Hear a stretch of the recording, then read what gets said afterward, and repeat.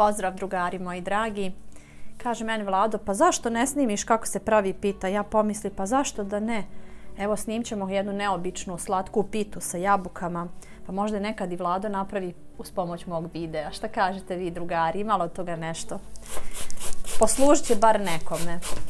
Evo ovdje imamo znači jabuke.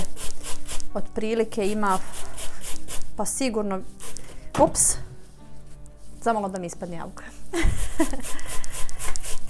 Koliko ima ovdje? Jednu kilogram i po jabuka.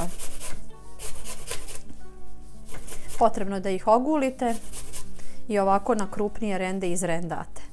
Da imate domaće kore za pitu, pa ćemo vidjeti dalje šta ćemo napraviti. Evo sve sastojke ću vam govoriti ovdje. Znači imam 8 jabuka, to je otprilike kilogram i po. jedan limun, koricu limuna. Naravno dobro da je operete i osušite, obrišete i onda narendate.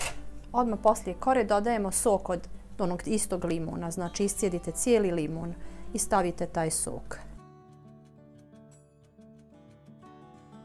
Odmah poslije limuna dodajemo jednu šaku suvi grožđica i dodat ću šaku brusnice. Suva brusnica. Ovo vam je više od pite i od baklave. Bojana pita kako ćemo pitu praviti, ja rekao što bogatiju. Eto, sad znate. Pa ja volim tako te pite i nadam se da će i vama ova ideja poslužiti. Ovaj, da će vam se dopasti to. Dodat ću još tu i šaku oraha. Znači samo ću ih malo izdrobiti ili isjeckat. Možete samo nožem malo da ovako, eto, ispolovite ih.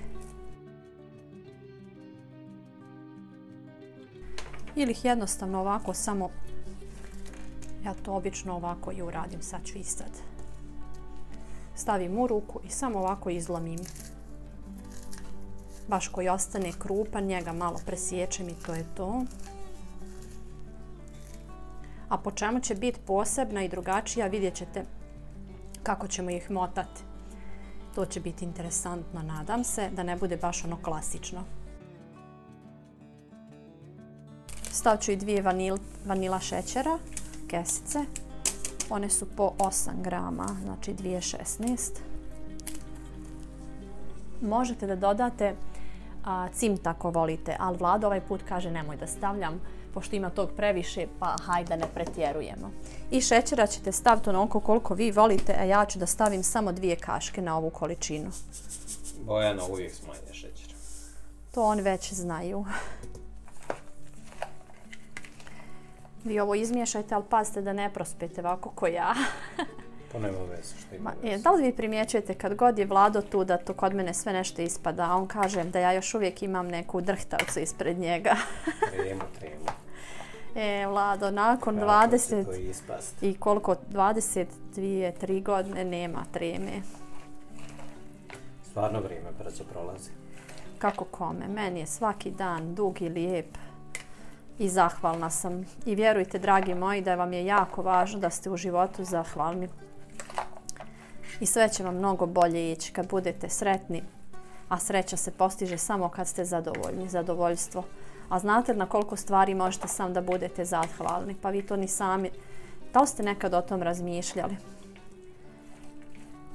Razmislite da ste zahvalni što možete da pričate, da govorite, da pišete, da gledate, da hodate.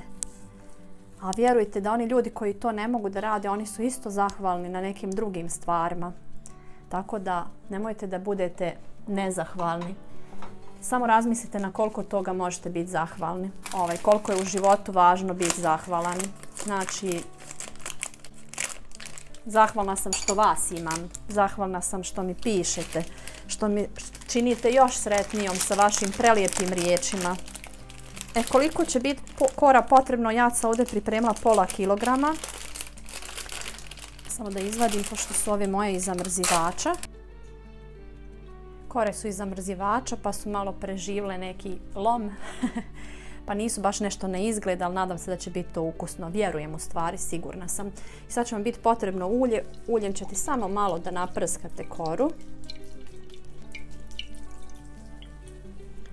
I ne morate ništa sa četkicom tu, sve će to tako da ide. I šta ćete sad uraditi? Pogledajte, ovako ćete da skupite.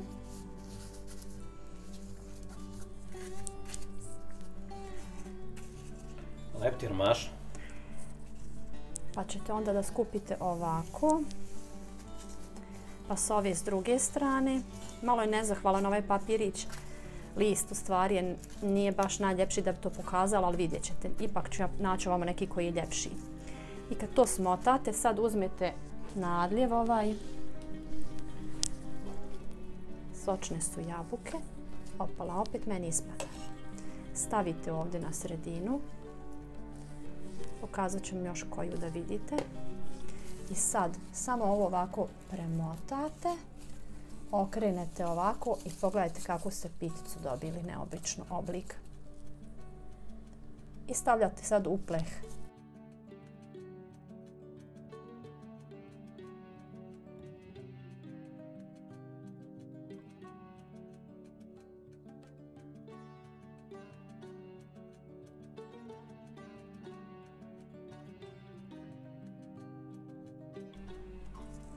Evo, dragi moji, ispalo mi je 15 ovih pitica, kako bi ih nazvala. Pogledajte kako su prelijepe, bar mene su slatke.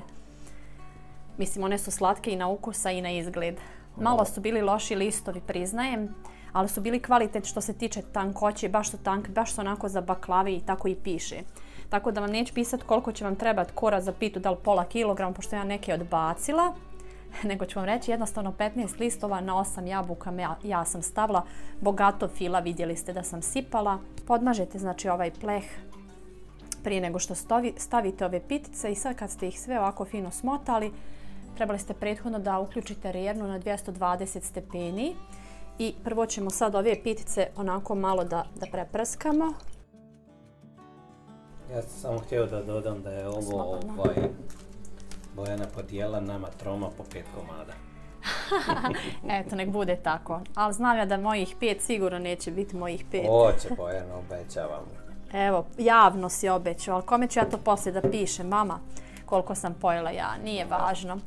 I sad stavljamo, znači, u prethodno zagrijanu rjernu na 220 stepeni pa reću vam ja tačno koliko je bilo potrebno, možda čak i malo smanjim da ne bude previše jako. Na 200 stepeni ću sada smanjim kad stavim pitu i nekih 20-25 minuta bit će potrebno. Vidjet ćete i sam kad to onako fino zarumeni. Pa vidimo se onda kasnije.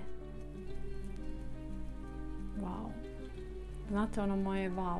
I miris i ukus. 30 minuta sam ipak pekla da bude ovako baš, baš da bude ovako baš lijepa i sad ćemo je fino servirati, a prije toga možete da stavite malo šećera u prahu, kao što ću ja da uradim, pošto nisam puno šećera stavila i Vlado je već odmah protestovo da će to biti jako malo šećera. Tako da, evo, stavit ćemo. U stvari sad će to servirati pa ću vam pokazati. Samo je malkice pust da se prohladi koliko možete. I onda ćemo se poslužiti i mi i vi.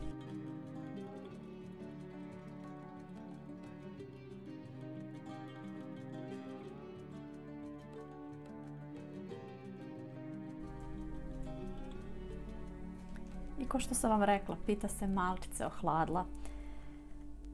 Stvarno je sjajna da je poslužite za goste ovako kad su vam slave, kad je post.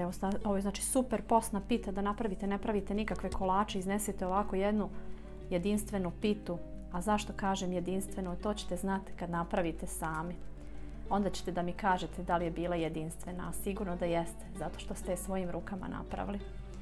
Vjerujte da se ona bukvalno 5 minuta ohladila, još je vrela, sigurno uzet ću nož, presjeću malo da vam pokažem koliko je puna unutra fila, mi tako bar volimo. I vidjeli ste kako je jednostavna za napraviti, stvarno nemojte oklijevati i budite zahvalni na svemu kao što sam vam rekla. Zahvalite se na jednostavnostima koje nas okružuju. Tajna jeste da budemo zahvalni, odnosno nije to tajna, nego je to nešto što nas čini sretnim. Naša zahvalnost, pogledajte vi ovo. Mada ovo se puši još kao što sam vam rekla. A šuškava, a unutra sočna. Eto, bilo koje jabuke da koristite, neke stvari koje nisu vam tu u prilici, ne morate staviti vi baš sve. Ali kad pravite ovakvu, onda ćete znati po čemu je posebna. A, vi ste bili da sam prva uzela ja. Mm. Oj, oj, kako je ovo To dobro. Bojana hoće da mene obrži jezik.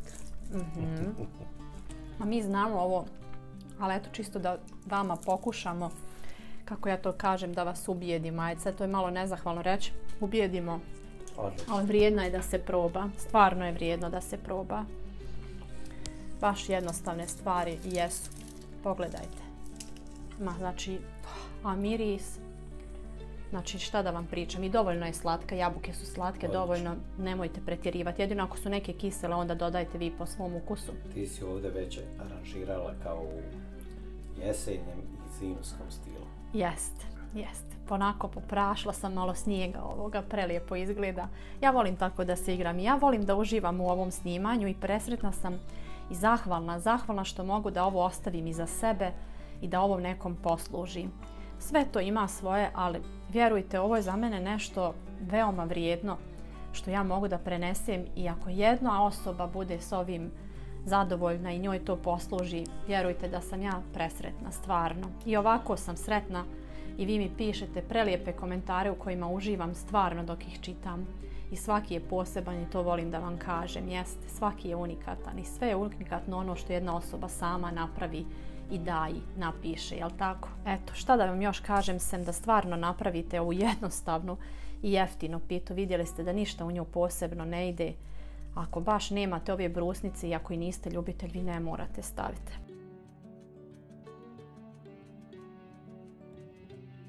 Napravite pitu, Mm. Jes dobro. budite zahvalni na svemu, nemojte da zavitite drugima, nemojte to nikako. Ako neko možete, pomozite mu, ako ne možete, nemojte mu ni stajati na muku. I bilo bi nam svima puno ljepše i bolje kad bi samo dijeli ljubav i pričali o tako lijepim stvarima, a ne samo o nekim ko je šta uradio, ko je gdje šta, znači ti tračevi, to je strašno. Abrovi ili kako se još to kaže, to čakuljanje bespotrebno. Znači, znamo mi šta je najbolje, da dijelimo ljubav, a ljubav je spas za nas. Ja to vama uvijek kažem i kažem i sada. Hvala vam puno i prijatno, dragi moji. Idem ja da ovu pitu nosim vlada, o nju dokrajčim. Šta misli s ova tri komada njegova? Pa da. Eto, ljubim vas i hvala vam na svemu. Prijatno.